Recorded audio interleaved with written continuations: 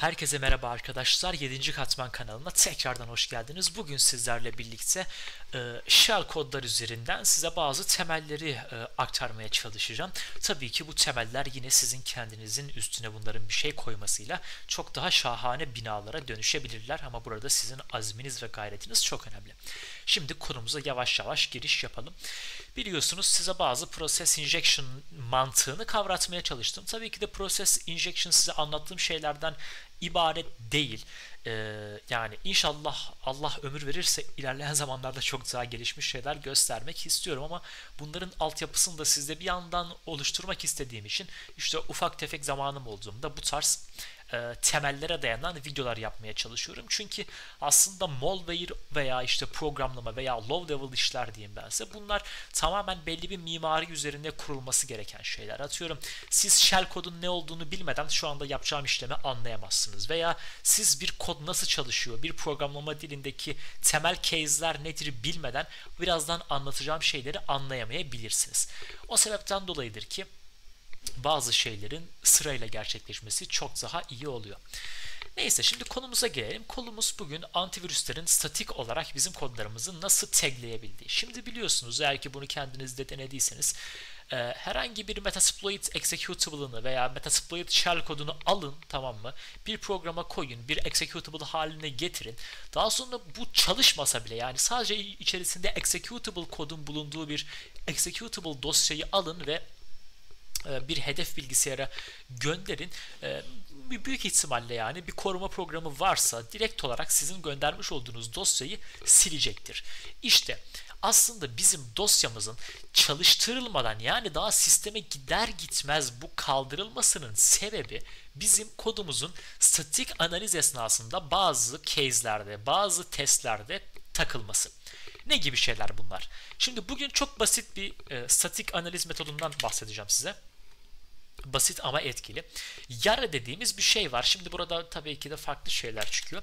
Yara rules yazdığınızda daha net şeyler elde edebileceksinizdir. Şimdi Yara rules dediğimiz şeyler arkadaşlar aslında bazı savunma yazılımları tarafından çok ağır statik analiz işlemleri gerçekleştirebilmek üzere geliştirilmiş bir ortak bir dil. Yani bunu JSON gibi düşünebilirsiniz aslında. Hani ortak bir dil olması amacıyla bu Yara kuralları yazılıyor ve işte zararlı yazılım analistleri e, bazı zararlı yazılımları tespit etmek amacıyla statik olarak hard kod bir şekilde yani tespit etmek amacıyla bu tarz kurallar geliştirebiliyorlar. Mantığı e, tamamen çok basit şeylere dayanıyor aslında. Yani basit şeylere, basit condition'lara dayanıyor. Lakin dediğim gibi daha gelişmiş zararlı yazılımlar için daha gelişmiş patern sistemlerine sahip kurallar geliştirilebiliyor. Şimdi örnek olması açısından Metasploit Yara Rules şeklinde bir arama yapalım internette. Şu sitelere bakabiliriz. Zaten ben daha önceden açmışım. İşte bakabilirsiniz yani bunlar e, bakmaktan zarar gelmez. Şimdi şu şekilde göstereyim. E, buradaki kural bakın buradaki rule yazısı aslında bir programlama dilindeki class veya bir fonksiyon gibi düşünebilirsiniz. Bu rule'ların her biri kendi içerisinde bağımsız birer e, eşleşmeyi temsil ediyor. Mesela ilk rule'umuza baktığımız zaman bir Meterpreter reverse TCP shell kod yani ters bağlantı yapan bunu TCP üzerinden gerçekleştiren bir Meterpreter shell kodunu tespit etmeye yarayan bir yara kuralı görüyorsunuz. Buradaki meta bilgisi tamamen işlevsiz olan yorum, comment ve author hani bu tarz e, şeyler düşünebilirsiniz. Yani bunlar dediğim gibi açıklamalar. İşte bir açıklama yazmış. Metasploit'in Meterpreter Reverse TCP Raw Shell kodunu tespit etmek amacıyla geliştirilmiş bir kuralmış. Ve alt taraftaki strings bölümü de aslında bizim bu statik analiz esnasında e, executable dosya içerisinde araştıracağımız e, paternleri temsil ediyor. Fark ettiyseniz burada bazı değerler soru işareti. Burada regex operandları da kullanabilirsiniz. Tamamen size kalmış ama buradaki çoğunluk gördüğünüz gibi işte FCEE e gibi e, şeyleri temsil ediyor. Hexadesimal kodları temsil ediyor. Eğer ki şu anda bir kalima makineniz varsa veya bir metasploitiniz varsa elinizin altında hemen bir ters TCP shell kodu alın ve başlangıcına baktığınız zaman büyük ihtimalle e, FC hexadesimal değeriyle başladığını siz de göreceksinizdir. Ee, dediğim gibi yani bu şu anda hani ben çok gördüğüm için de aklımda kalmış olabilir. Genelde biliyorsunuz payloadlar bu tarz sabit bir değer bir değerle başlıyor. Özellikle de staging ve stageless hani bu tarz durumlardaki payloadlar genelde kendi arasında bir mimariye sahip oluyor. Çünkü hani nasıl bir shell kod göndereceksek gönderelim genelde hani zararlı işlevsel kodun çalıştırılmasına bir ortam hazırlamak için aslında e, buradaki bazı değerler kullanılıyor başlangıç olarak. Bu sebepten dolayı bu sabit değerleri aslında shell kod üzerinden aramaya çalışıyor bu yara kuralı. Şimdi şöyle açıklayayım aslında bunun da nasıl gerçekleştiğini. Ee, ne yani bu nasıl bizim executable'ımızda ortaya çıkıyor? Yani şimdi siz şey diyebilirsiniz. Hani ya biz kodu yazıyoruz sonra bunu derlediğimizde normal, hani normal şartlarda tamamen karmaşık şeyler elde etmemiz lazım bizim. Çünkü compiled kod dediğimiz şey aslında bizim makine kodudur. İşte şöyle bir sıkıntı var. Biz genelde shell kodlarımızı arkadaşlar bir array üzerinde tutarız bir dizi üzerinde tutarız. Ve bu array'lerin de programlamada bir özelliği var. Array'ler arkadaşlar continuous data types yani sürekli veri tipleri devamlı veri tipleri şeklinde ifade edilir. Bu tarz veri tiplerinin özelliği zaten arka arkaya gelmesi. Yani bizim shell kodumuzdaki FC, E8, 00 gibi değerler arka arkaya geliyor ve executable dosya bu byte'lar yazıldığında 0 ve 1'lerle aslında yine karşımıza bu paterni çıkartıyor bize. Bu sebepten dolayıdır ki bu tarz kurallarda işte bu array'ler içerisindeki bizim tutmuş olduğumuz shell kodumuz çok rahat bir şekilde tespit edilebiliyor. Yani siz dediğim gibi çok net bir şekilde bunu kendinizde gözlemleyebilirsiniz. Bir Metasploit executable'ını alın ve bir bilgisayara koyun. Sadece herhangi bir güvenlik yazılımı olması yeterli. Çok aman şavan bir şey olmasını istemiyorum. Hani bir Microsoft Defender bile çok rahat bir şekilde tespit edebilecektir. Tabii ki bunu Defender'ı küçümsemek için söylemiyorum. Lakin Microsoft'un bize default olarak sağlamış olduğu korunma mekanizması bile yani ücretsiz olan bu mekanizma bile bir Meterpreter shell kodunu çok rahat bir şekilde tespit edebiliyor. Bu kurallar aslında bu tespit mekanizmalarına sadece bir örnek. Tabii çok daha farklı algoritmalar, çok daha farklı sistemlerde çalıştırabilirsiniz.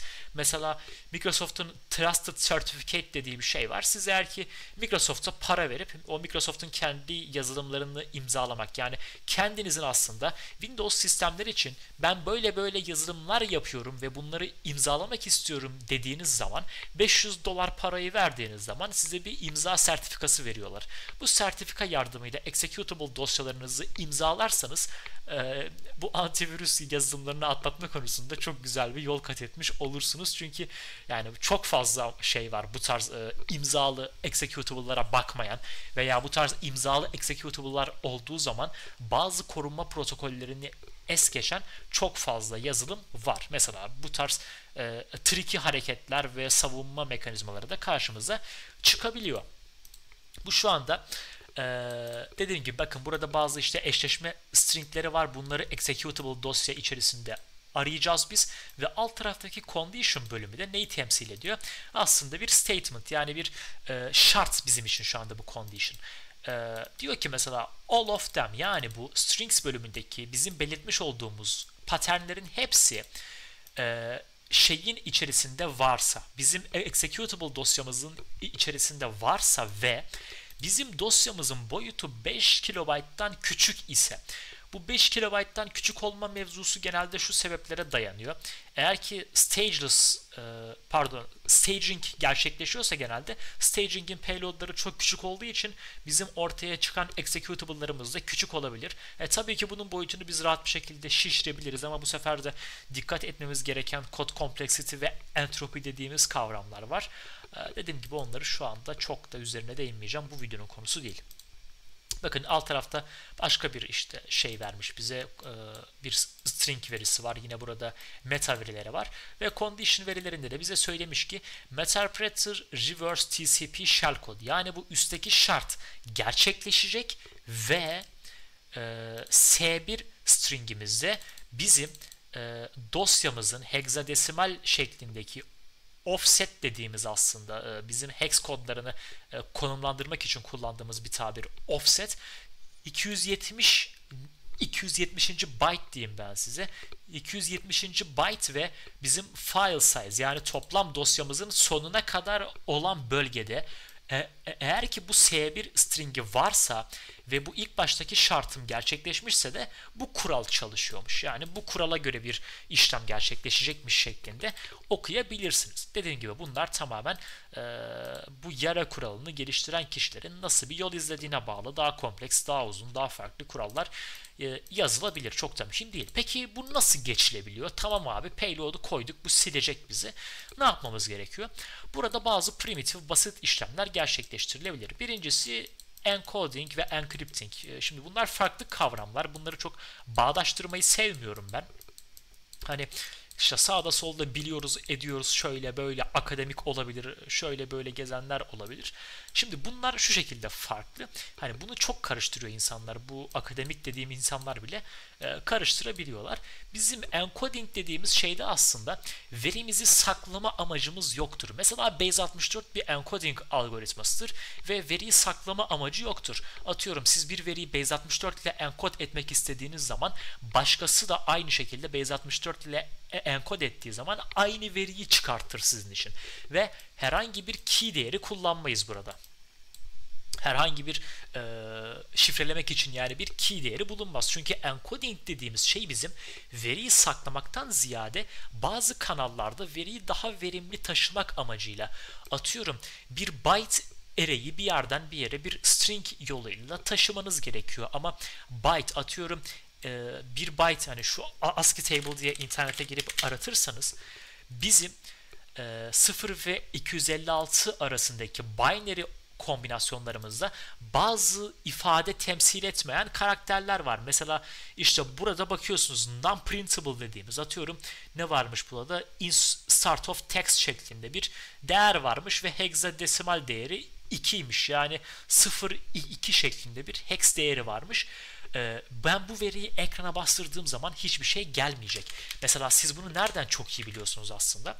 Şöyle göstereyim size ben bunu. MSF Venom aracılığıyla e, tire payloads Windows 64 bits birazdan da kullanacağız bunu ondan da aklımızda bulunsun. L e, TCP diyelim. L hostumuz lokal host verebiliriz. Bağlanmayacağız zaten bir yere. Hiç mühim değil.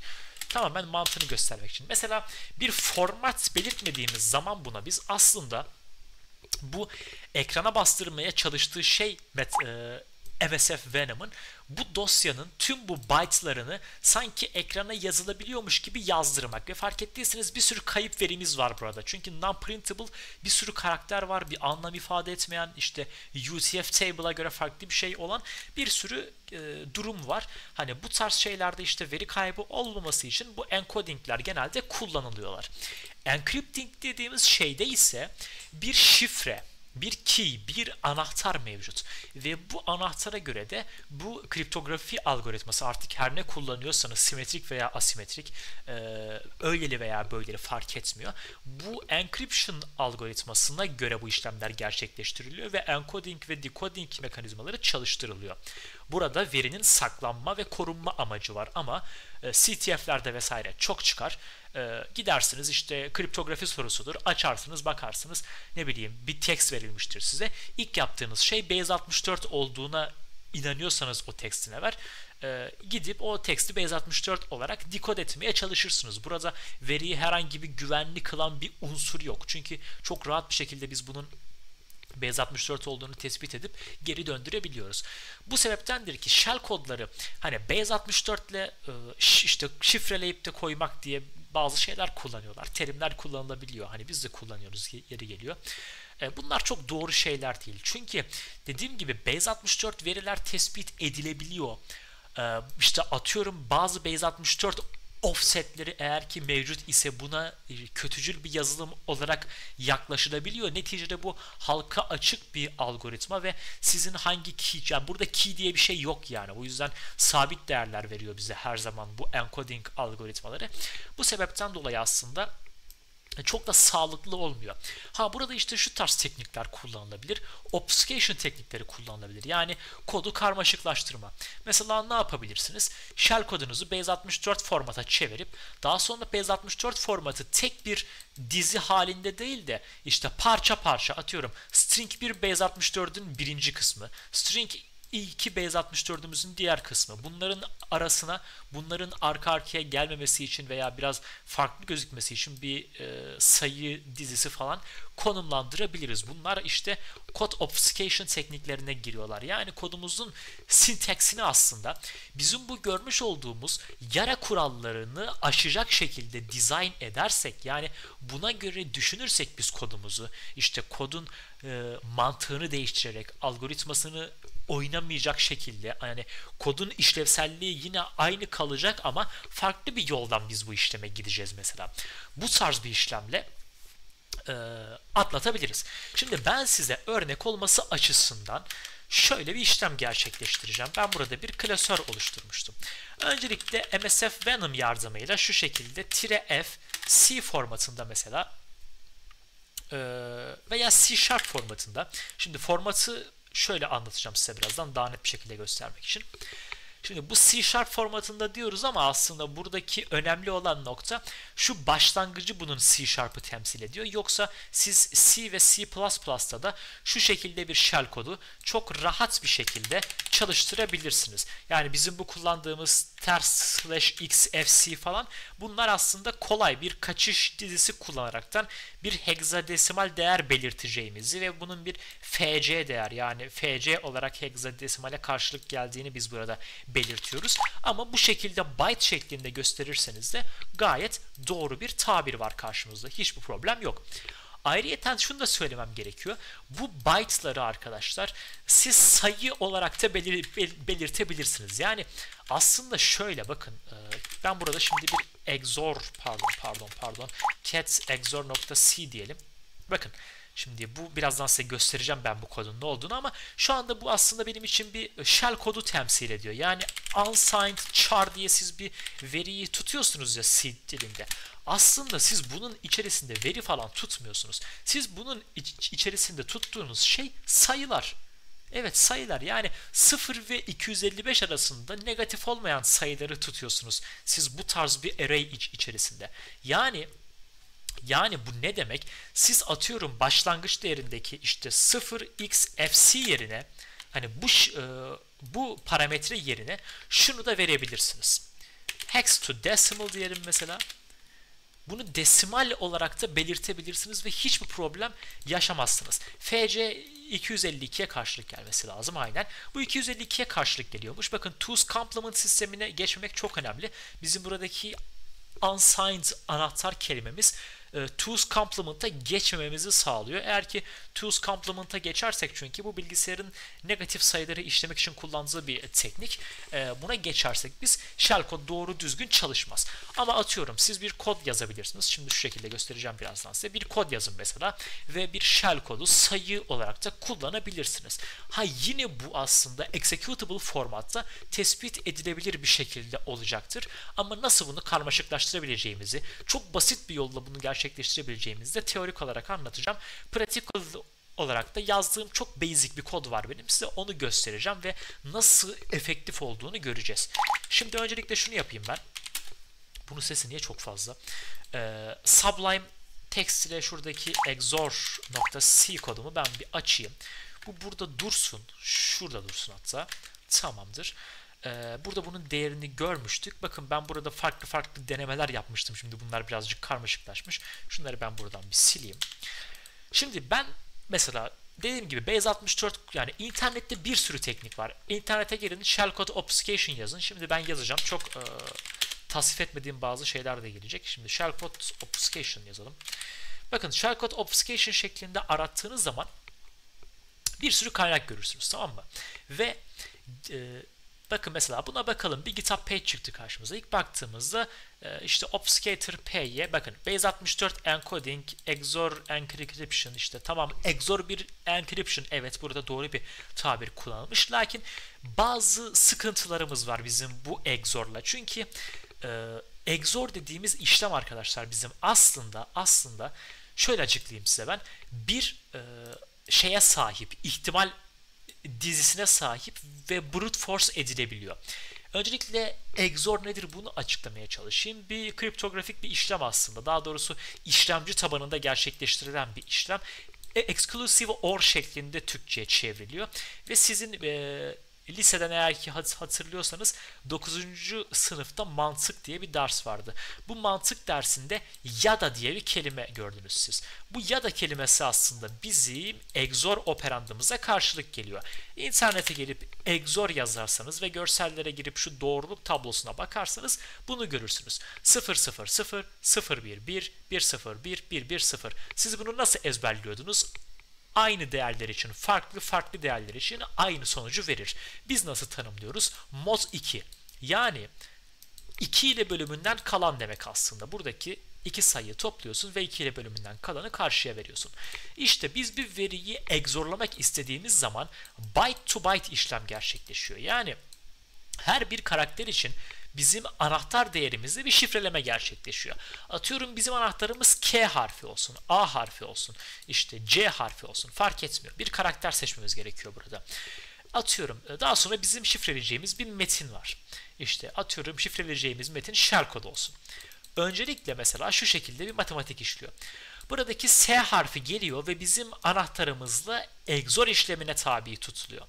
Daha sonra H harfi geliyor ve bizim anahtarımızla XOR işlemine tabi tutuluyor.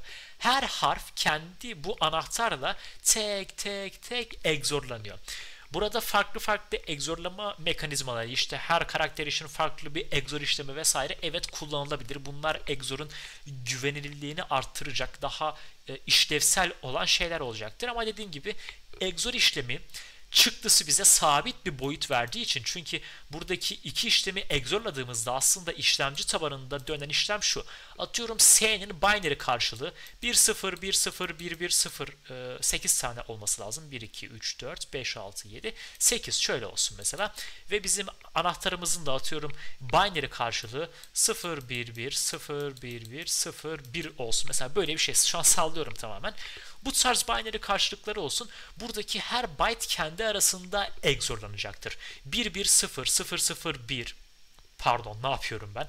1 1 0 0 0 0 0 0 0 evet 0 0 1 1 hani bize bu tarz byte to byte işlem yapan bir algoritma ve daha sonra bu karakter bizim UTF table'larımızda yani bize bu e, yazıları göstermek için kullanılan tablolarda hangi karaktere karşılık geliyorsa bize o harf olarak bu çıkacaktır.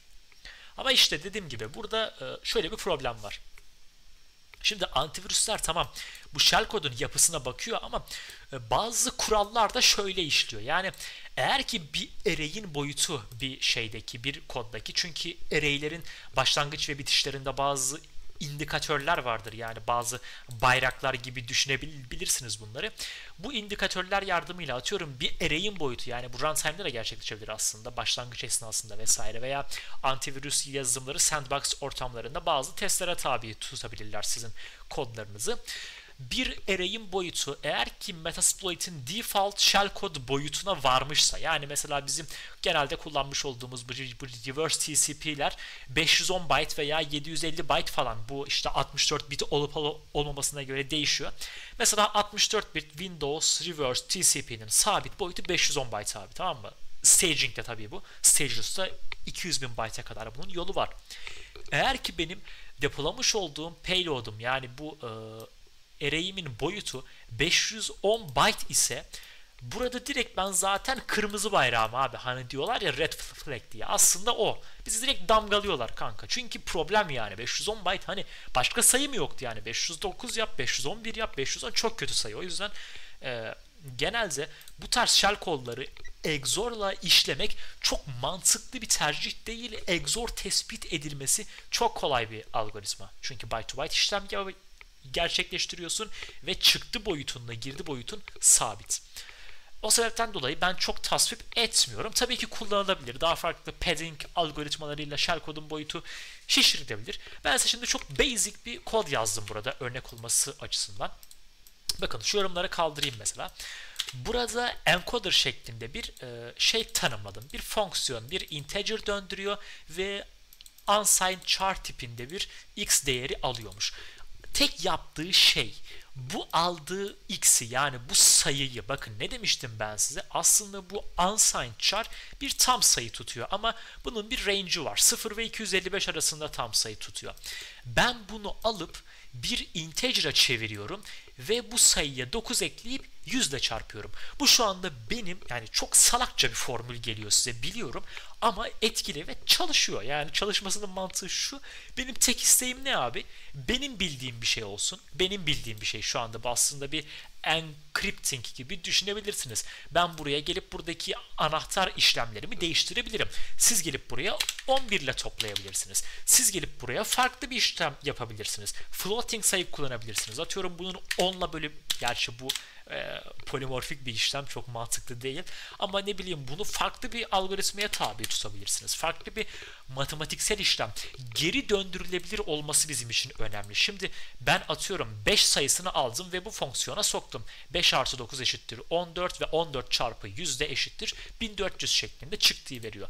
Ben bunun için bir decoder yazmak istersem benim decoder'ım ne değer alacak? Mesela mesela şey döndürmesini istiyorum. Bir char döndürmesini istiyorum benim e, decoder'ımın. İşte ne olsun? Decodes index şeklinde. Hani her indeks için bu işlemi gerçekleştireceğimden dolayı e, acaba buraya unsigned şeklinde belki verebiliyor olabilirim, verebiliyorum diye hatırlıyorum. Çok mühim değil. Bunu kendiniz de deneyebilirsiniz zaten. Atıyorum bir encoding e, hani bir encoding ve bir decoding algoritması mantığını göstermeye çalışıyorum. Bir integer alıyor. Bunu ters çevirmek istediğin zaman benim yapmam gereken şey ne şu anda? Aslında bu da integer döndürebilir. Hiçbir hiçbir problem yok. Hiçbir problem yok bunun. Ee, bunun ne yapması gerekiyor mesela? Önce sayımızı 100'e bölecek çünkü en son 100 ile çarpmıştık. Yani şöyle return x bölü 100. Tabii ki de bu x bölü 100'ümüz bizim parantez içerisinde işlem önceliği var.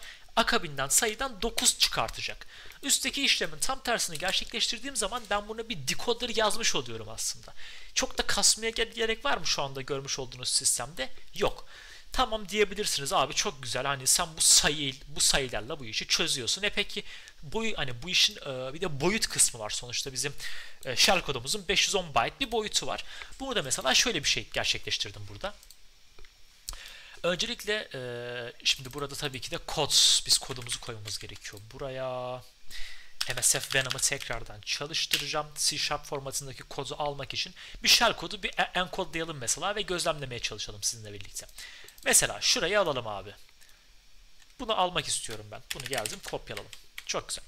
Bunu kopyaladıktan sonra geliyorum buraya. Unsigned char ee, ne olsun kod şeklinde alt tarafta ben kodlamıştım. O yüzden kod yazıyorum buraya da eşittir diyorum.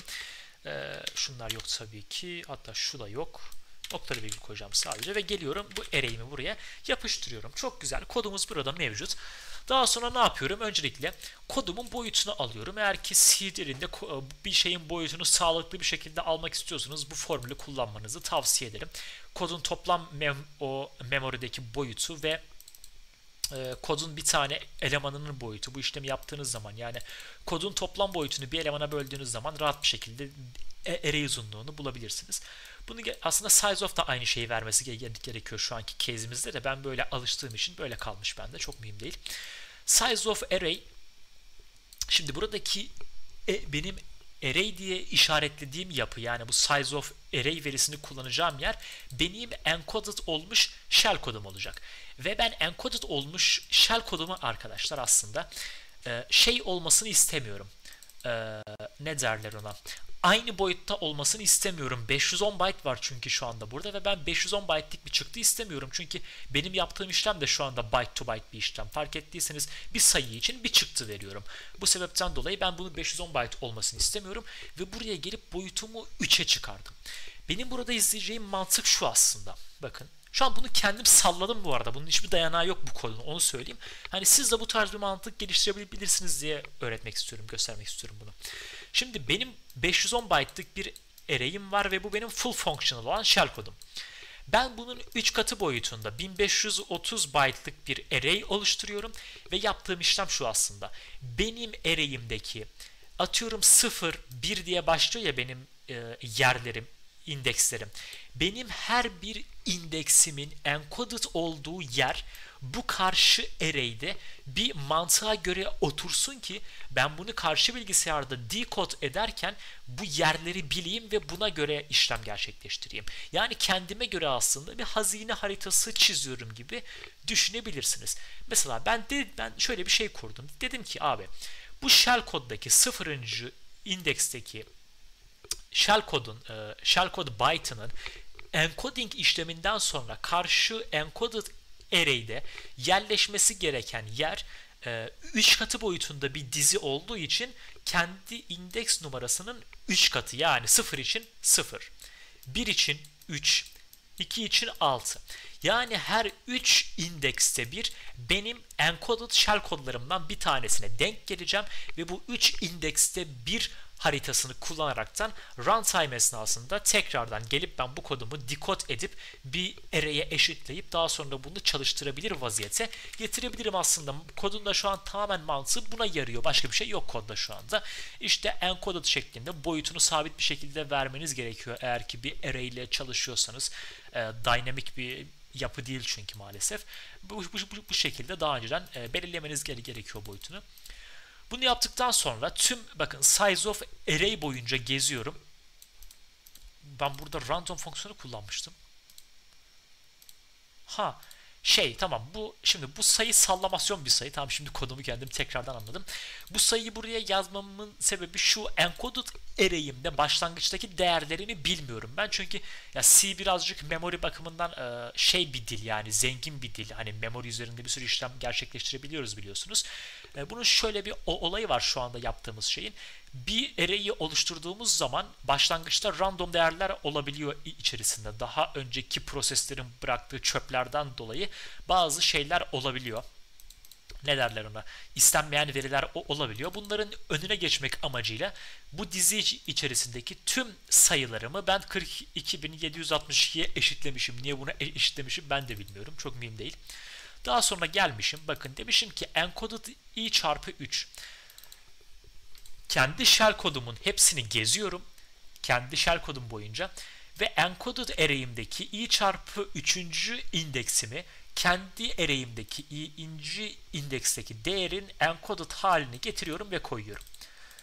Bu kadar. Daha sonra geliyorum. Yine burada bir for döngüsü kullanmışım. Demişim ki bu array'in hepsini gezmek istiyorum. Bu yaptığım işlem de şuna dayanıyor aslında. Kodu randomize etmek istiyorum. Çünkü çok fazla tekrarlayan değer olduğu zaman e, NOP dediğimiz şeyleri algılayabilen yapılar var. E, yani şu şekilde söyleyeyim ben size. Atıyorum antivirüs şu yapıyı algılama ihtimalini göz önünde bulunduruyorum ben bazı case'lerde. Ee, benim e, array'imde işlevsel bir shell kod var. Daha sonra iki tane aynı değerden var. İşlevsel bir shell kod var. Daha sonra yine aynı değerlerden var. İşlevsel bir shell kod var ve yine aynı değerler gidiyor. Bu sintaksi tespit etme ihtimali var. Bu paterni, bu regex'i çözme ihtimalleri var.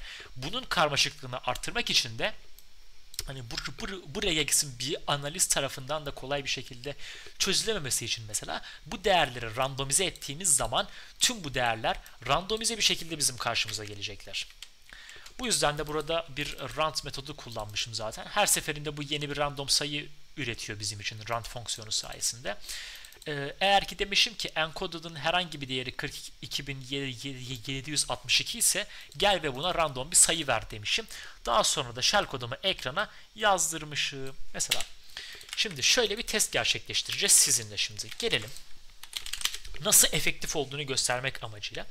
Öncelikle e, touch şöyle non-obfuscated diyelim. non-obf.c bir tane de obf.c yani obfuscated.c şeklinde e, iki tane şey açalım biz. C kodumuzu, e, C projesi açalım. Bunları yaptıktan sonra Sublime Text'te öncelikle bir non-obfuscated'ı bir gözlemlemeye çalışalım. Bakın. Şimdi bizim shell kodumuzu alacağız aynen. Bakın hiçbir şey yapmayacağım. Bunu kopyalayacağım. Geleceğim. Diyeceğim ki abi include stdio.h diyeceğim. Bunu buraya koyacağım. Shell kodum burada duruyor. Bakın main fonksiyonumu açıyorum. Main'i açtıktan sonra tek yaptığım şey şunlara da gerek yok. Abi hiç her şeyi kaldır abi koddan. Bakın şimdi print hello. Hiçbir şey yapmıyorum. Tam olarak hiçbir şey yapmıyorum. Kelimenin tam anlamıyla hiçbir şey yapmıyorum ama izleyin birazdan nasıl virüs totalde bu patır patır bizim önümüze dökülecek. Bu bu şekilde kalsın. Ve Sublime'da da obfuscated.c'yi çalıştırıyorum. Yani Sublime üzerinde getiriyorum. Şimdi e, öncelikle şunu bir gerçekleştirelim. Bizim exor kodumuzu yazmıştık. GCC ile şunu bir der diyelim. exor.c diyorum. Output'um exor olsun. Nokta slash exor dediğim zaman bakın şu anda bu benim obfuscated shell kodum aslında. Ben kendi yazdığım decoder'ı kullanaraktan her 3 değerde bir yani çok basit bir decoding mekanizmasını bunu kendiniz de yazabilirsiniz. Kullanaraktan şu değil tabi o ayrı şuraya kadarki değerler. Bizim aslında shell kodumuz burada mevcut. Mesela 252 bizim başlangıç değerimiz diye şuradan gelip gözlemleyebiliriz. 252 FC'ye bakmıştık zaten değeri 252 idi bizim. Şuradan e, neredeydi bu? Şuradan bakmıştık. Bu 252'ye karşılık geliyordu. 252'ye 9 eklediğimiz zaman 261 yapar. Yüzde çarptığımız zaman da 226.100 sonucunu bize vermesi gerekiyor ki ben terminalimi kaybettim. 26.100'ü burada görü görüyorsunuz. Daha sonra iki tane random sayım var ve 81.000'i görüyorsunuz. Demek ki diğerimizin de 72'ymiş. Diğer e, atıyorum 40-48 de hexadesimaldeki bizim desimal sistemdeki mesela deneyelim. Convert 72'ye tekabül ediyor. Çok basit. Gördünüz mü? Bakın bir veri kaybı olmadan aslında ben verimi bu formata getirebildim çok rahat bir şekilde. Ben yine terminalimi kaybettim. Ha. Ee, ikinci şeydeymiş, masa üstündeymiş. Bu şekilde ben veriyi decode edilebilir bir formata getirdim. Şimdi yapacağım şey de bunu getirip obfuscated olan bölümümde kullanmak olacak. Include yine std IO'yu dahil ediyorum. Bunu yapmamız gerekiyor çünkü printf'in e, çalışması için. Daha sonra ne yapacağım?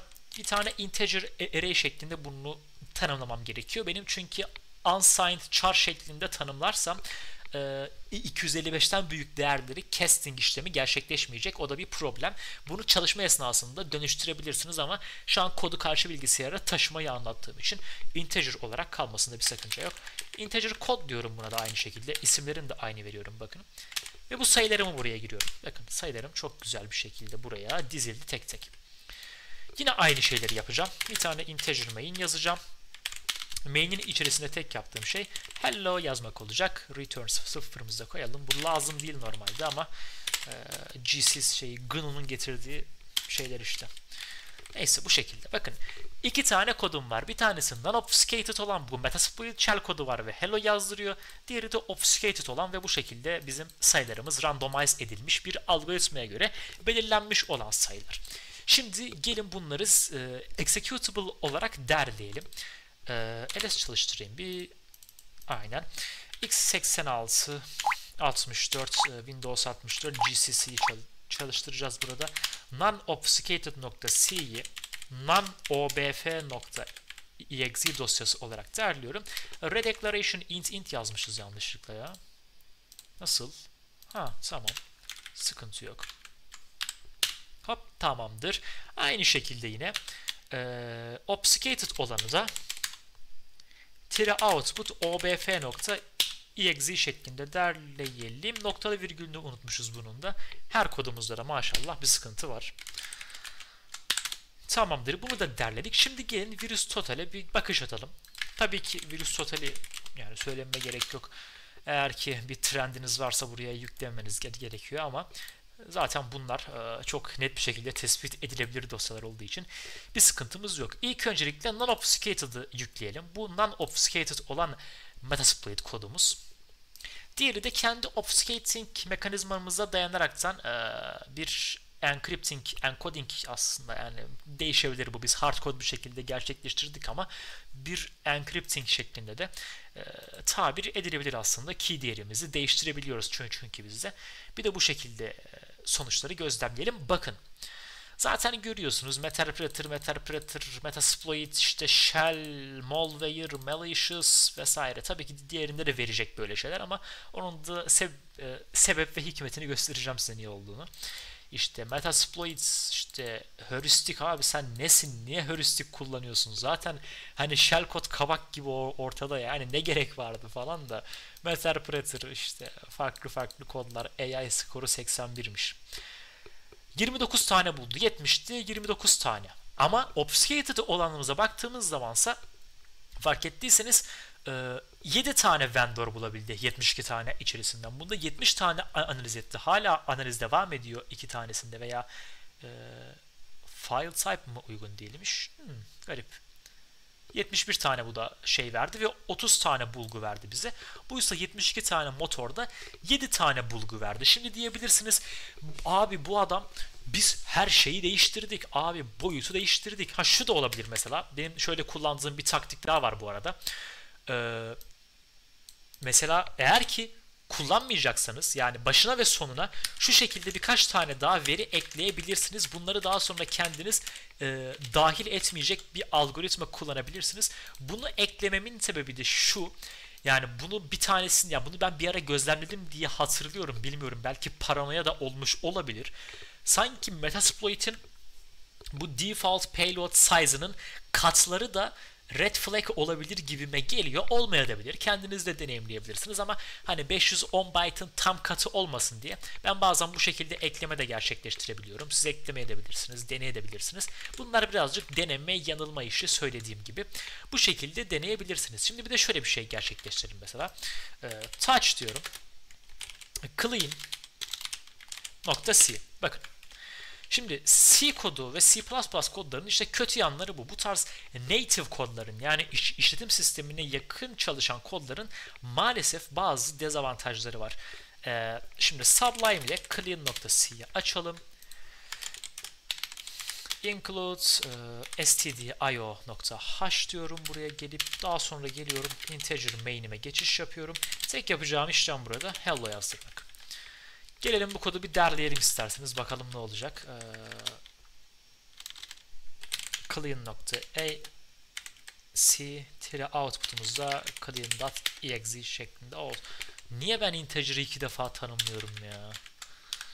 Sublime'dan kaynaklı galiba. Kendim yazarken tablıyorum ya sürekli. Gelelim bir de bunu taratalım bakalım. Hiçbir şey abi yani daha ne yapayım ben? Hani tam anladım iyi güzel hani tamam zararlı yazılım gelebilir bilgisayarına. Eyvallah da yani buna da bir şey dememen lazım diyebilirsiniz şimdi ama maalesef öyle olmuyor işte bu. Native kodlar olduğu için arkadaşlar native kodlar içerisinde bir sürü kütüphane dahil ediyor. Siz işte şeyden bağımsız çalışabilmek için kendi yanlarında bir şey olmadığı için problemler problemler bakın yani bu vatandaş bakın bu vatandaş diyorum eee Burada da aynı şey söylemişti bize. Burada da aynı şeyi söylüyor. Bakın kodları bile aynı bu arkadaş. Yani çok zeki olduğundan ziyade aslında bazı varsayımlarda bulunaraktan e, bu çok üstün tespitleri gerçekleştiriyor mesela. İşte Icarus da aynı şeyi yapmış burada. Burada gördüğünüz gibi. Farklı farklı durumlar. Ha burada mesela burada görmediğimiz işte ne var mesela? Ee, Secure Age mesela malicious olarak bunu şu anda şey yapmış. İşte Signet malicious 100 demiş de abi Hello World yazdırdık bir şey yapmadık. Niye böyle diyorsunuz? Neyse. Hani bazı dediğim gibi farklı farklı teknikler var. Bunları yine ben elimden geldiğince statik analiz metodlarını açıklamaya çalışırım. Ama mesela basic bir payload'un yara kurallarından kaçınması için e, bu tarz bir işlemde gerçekleştirebilirsiniz. Tabii ki söylediğim gibi eğer ki C ve C++ şeklinde kodlama gerçekleştiriyorsanız burada sıfır yazdırmak harbiden zor. Çünkü hani bu yani bu 6 tane buldu beyler. Tamam mı? Bu 6 tane buldu. Bence bunun 7 bulması çok iyi. Ee, tabii ki de benim tavsiyem genelde o noktalarda birazcık daha üst seviye diller kullanabilirsiniz eğer ki kullanabiliyorsanız veya Şöyle asıl malicious kodunuz e, C ve C++ üzerinden çalışabilir. Bu malicious kodu ama karşı sisteme göndermek için bir dropper yazabilirsiniz kendiniz. İşte Rust olabilir mesela. Rust bu konuda çok güvenlidir. Çok severim kendisini. Modular Development'ta da çok tatlı geliyor bana. İşte bu tarz bir dille mesela farklı sıfır çektirebileceğinizi düşündüğünüz biraz daha yüksek seviyeli bir dille bir dropper kodlarsınız. İşte bu dropper yardımıyla ne bileyim karşı sistemde fileless bir şekilde bunu tetikleyebilirsiniz belki. Hani fileless çalıştırma metodları mevcut. Şu anda e, çok detayına giremiyorum. Çok uzun konu çünkü. Baya baya uzun. E, PE file'lar, PE file teorisini an, anlatmaya çalışacağım size. E, her şeyi de anlatmaya çalışacağım da işte zamanımız yok, imkanımız yok bazen. Yapacak bir şey yok. E, PE file teorisini iyice kavrarsanız eğer ki orada PE file'larını yani Windows Executable, Portable Executable dediğimiz dosyaları memory'de açtırmak için yani bir disk üzerine yazmadan herhangi bir statik ana analize maruz bırakmadan memory üzerinde çalıştırabileceğiniz metodlar mevcut. Bu tarz şeylerle de bunları ekarte edebilirsiniz ama dediğim gibi zaten ne Kaspersky ne Asset ne Microsoft Defender şu anda ekranda gözükmüyor. Bu tabii ki Elastic gibi şeyler var. Bunlar zaten farklı farklı tekniklerle bunun evil olduğuna kanaat getiriyorlar ama Elastik inşallah burayı bul bulmamıştır diyecektim ki bulmamış zaten. Bu e, elastik şu an burada mesela kendisi daha sezgisel bir işlem gerçekleştiriyor. Farklı farklı metodlar gerçekleştiriyor. Ama bizim mantığını kavramamız açısından e, güzel bir örnek olduğunu düşünüyorum obfuscation'ın nasıl etkilediğine dair. Aynısını şeyle de denemiştim. Exor'la da denemiştim. Daha fazla çıkartıyordu bizimkinden bu arada. Ondan çok net bir şekilde eminim. Hatta şu şekilde denesek mi onu ekrana bastırırken çok büyük problem yaşayacağız ama şu anda bir de video çok uzamasını istiyorum. Kendiniz de deneyebilirsiniz. İşte internete gelin abi. Shellcode Exor yazın. Ben az önce deniyordum zaten. İşte size göstereyim diye de vazgeçtim sonra. Abi gel zaten adam büyük ihtimalle yazmıştır burada bir yerde. Bakın. Ha şu şu işlem işte ya. Şu for döngüsüyle şu işlem exor operandı. Şu e, shift ve 3'e bastığınızda çıkan üst işareti aslında bu exor operandı. Sizin e, gülücük atmak için kullandığınız e, key arkadaşlar. O exor operandı. Onun yardımıyla bakın adam burada bir exor e, encoder yazmış zaten. Bunu da deneyimleyebilirsiniz. Kendiniz de yazabilirsiniz. Yani bu tamamen sizin fantazinize kalmış bir durum. Umarım net bir şekilde açıklayabilmişimdir. Ee, bir sıkıntınız, derdiniz, isteğiniz varsa da yorumlar kısmına bırakabilirsiniz. Dediğim gibi bir dahaki videoda görüşürüz.